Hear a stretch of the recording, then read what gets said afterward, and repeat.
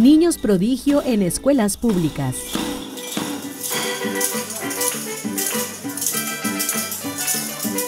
Bienvenidos a Centro Noticias al Instante.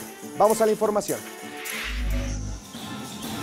Su gracia, ritmo, carácter, fuerza, pero sobre todo la pasión y energía que desborda Oksana Tailí al dirigir la orquesta escolar del Jardín de Niños Horacio Terán en Ciudad Victoria, Tamaulipas, hizo estallar las redes sociales al trascender un video que ha acumulado millones de reproducciones. Hoy se le conoce como Alondrita de la Parra, en alusión a la célebre directora de orquesta de fama mundial, Alondra de la Parra.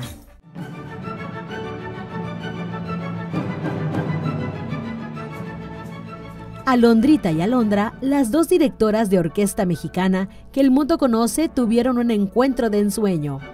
Podría decirse mágico, pero sin duda detrás de cada estrella que brilla, siempre, siempre hay un maestro, como el de Alondrita de la Parra, un maestro orgullosamente cente.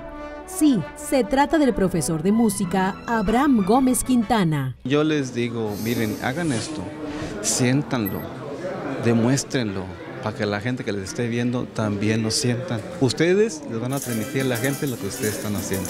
Sin duda la educación y la escuela pública mexicana trascienden fronteras como bien se ha dicho, con maestros CENTE de clase mundial. Y para muestra un botón. Música maestra. Santa Fe Martínez, CENTE Noticias. Gracias por acompañarnos. Esto fue Centro Noticias al Instante. Soy Rodrigo Maínez y justo aquí.